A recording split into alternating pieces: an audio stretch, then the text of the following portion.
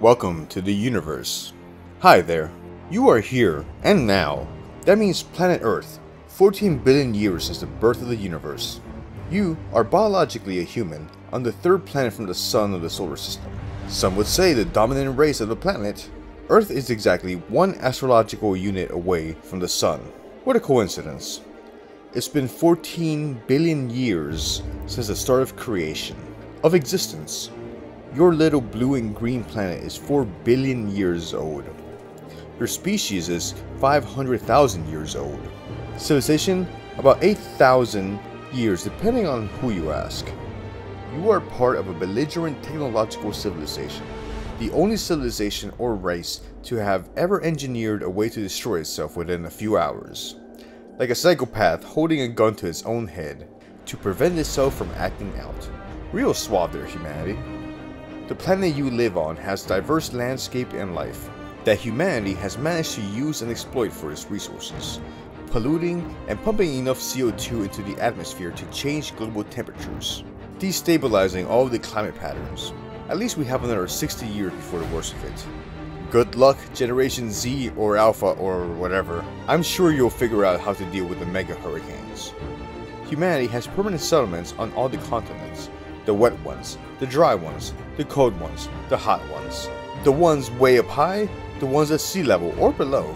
Except for the true center of Antarctica, that humanity doesn't approach since Miss University's expedition to Humanity has spread across the Earth and mapped it all out. Near orbit is filled with satellites that photograph the Earth's surface. The only problem, now, is the amount of space trash in orbit. But hey, if a little mess is good enough for your college bedroom, it should be good enough for low orbit. Way to go, us. Global affairs, culturally, politically, militarily, economically, are dominated by the United States of America, the global hegemon, the magnum opus of imperialism and capitalism. To the east, you have other major players, and hundreds of other individual cultures in their own languages, stories, lessons, myths, art, and beauty. Unless when they're brutalizing each other or themselves. Nearby, you have the moon. Earth too, except smaller, and without an atmosphere. Dusty, like my instruments that I'll get around to learning any day now.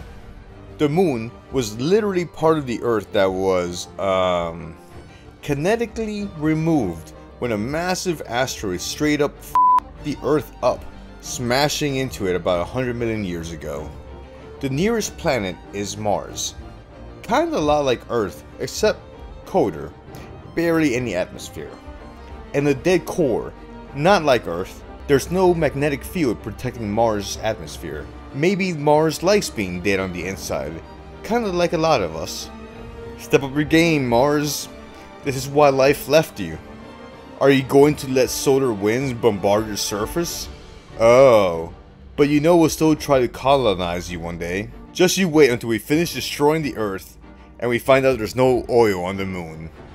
There are several planets in your solar system, the solid ones, Venus, Mercury, and Mars, and the squishy ones, except for the faraway ones, divided by a line of rocks, kinda like at a concert where they're keeping the people in VIP area away from the plebs. Further out, you have some lonely, miserable little rocks that surely host so many mysteries. If only we could set up a McDonald's there and explore it.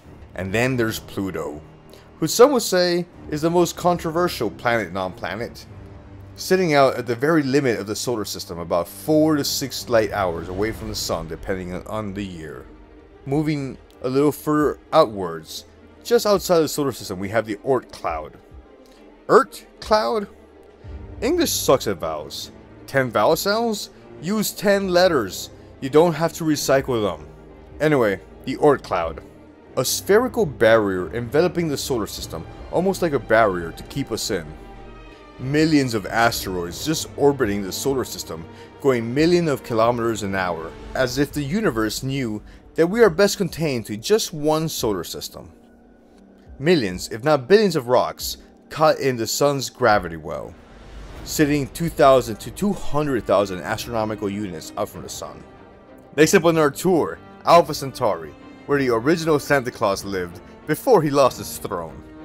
Moving past the Oort cloud, we have the nearest star, and possibly the nearest inhabitable planets, Alpha Centauri. The nearest star we would run to, we somehow managed to blow up the sun. Alpha Centauri is a triple system in the constellation of Centaurus, or as they would say in French, a ménage à trois, which means three body problem.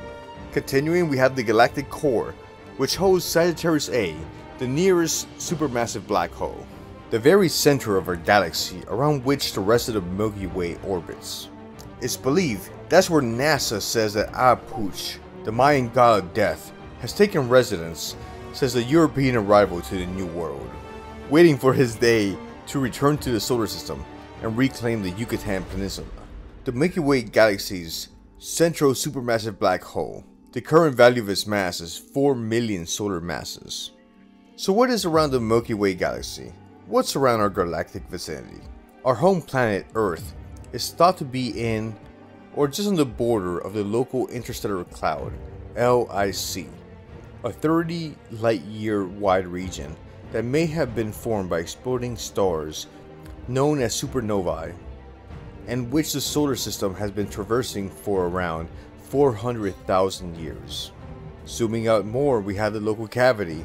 Sounds like a local neighborhood sentient tooth. Within the stellar medium are thought to be cavities, or regions of low density gas, or perhaps carved out by supernovae or the solar winds emanating from young stars.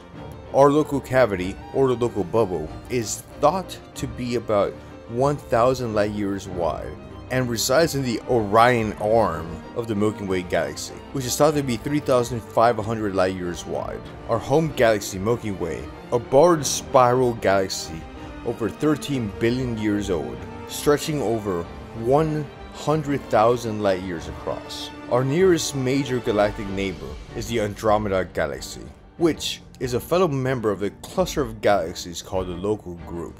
The Milky Way galaxy is composed of a hundred thousand million stars. Zooming out even further, the Local Group, stretching across 4 million light years. Most of the galaxies in the Local Group are dwarfs, but not the two largest, M13 and our own Milky Way, are giant spirals, but the largest two, the M13 and the Milky Way, are both giant spirals. The Milky Way and the Andromeda Galaxy are gravitationally bound to one another. In fact, they are due to collide in the distant future in an event known as the Andromeda Milky Way collision. But they are not alone. Caught along with our home galaxy and its neighbors are about 30 to 50 smaller galaxies, including the Triangulum Galaxy and the Magellanic Clouds. Astraea was the last immortal to leave Earth and formed the constellation Virgo. Makes you think they knew something we don't about climate change. Suspicious, ain't it? Just a thought. Anyway, we're almost done. Next up, the Mega Chad, the Virgo Supercluster. Our local group and the nearby Virgo cluster of galaxies are both located within the boundary of the Virgo supercluster, or local supercluster, an enormous collection of galaxies, galaxy groups, and galaxy clusters thought to stretch a hundred thousand million light years across. Next up on our tour, the Laniakea supercluster. Laniakea is a Hawaiian word meaning immeasurable heavens, which is a fitting name for a supercluster, a region containing the mass of 100 million billion suns and stretching 520 million light years across. What do those numbers even mean? And the last stop is the universe. What is the universe? It's a tricky question to ask, except to say that it's everything. It's our home planet, it's our home star, our solar system, our galaxy, our galaxy cluster, our supercluster, and all the other planets, stars, galaxies, galaxy clusters, and superclusters that exist or have existed anywhere. That thing you thought about, that thing you didn't think about. Stretching 96 billion light years across, encapsulating everything that we can sense. There is no center of the universe. While the size of the universe is finite, you can travel infinity in any direction. Since space-time will just fold back on itself. Final stop of our tour. We've arrived at the end of space and time, at least a hundred billion years from now. As the stars burn out and run out of fuel, as the expansion of, space-time due to dark energy has put solar systems and galaxies infinitely far away, entropy is at its maximum. What does it all mean? What is our purpose? What would life and humanity be after such a long time? I don't know. No idea. Good luck with that. This is just a quick tour of our universe and reality. Hope you liked it. Take care. Thank you very much.